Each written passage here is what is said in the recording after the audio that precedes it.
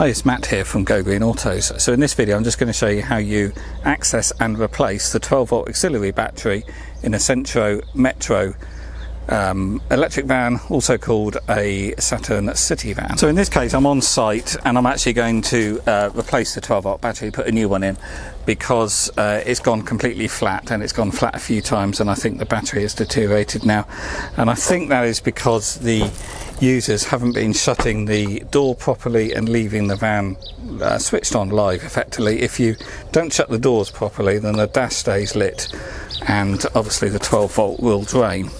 So the battery actually sits behind this uh, side panel on the near side and you have to take this whole side panel off. The tools you need for the job is a 4mm Allen key, in this case I've got one on a, a socket wheel.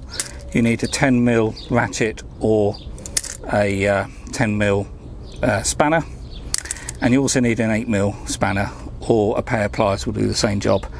So to start with we've got to take off the um, bolts there, there, there and there two at the back and there's two underneath on either side of the rear wheel.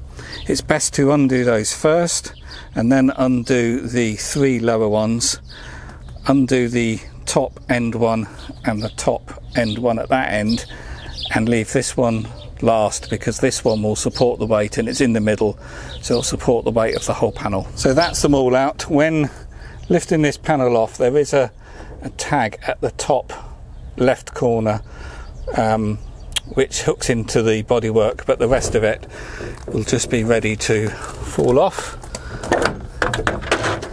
Yeah, you can see that tag just there but that's the only one. And then just put this somewhere safe.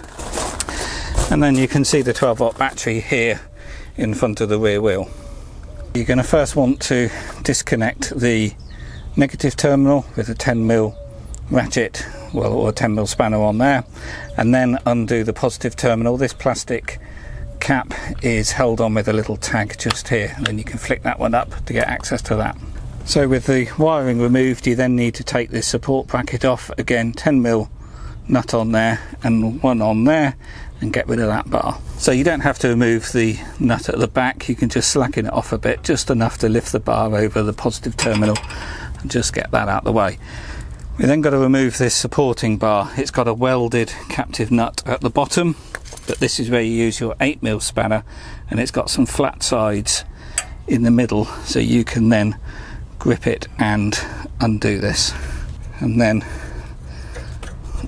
undo that bar completely which then allows you to lift the battery out. The batteries on these is a 6 QW36R 12 volt obviously 36 amp hour 335 amp this battery code isn't a code we recognize in the UK and um, when looking for a replacement battery it's uh, quite difficult to find the right size because the tray on this is flush with the battery. So it's got to have the exactly the same footprint to sit in that tray. So the battery I'm fitting here is a Varta A15 40 amp hour 330 amps. It's the same size it's got the same Japanese style terminals the smaller terminal and the positive on, is on this side which is opposite to normal hence why it's an R model. R means it's got the reverse terminals, and uh, as you can see,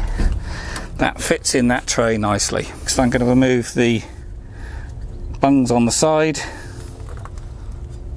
and then basically do the reverse to put it all back together.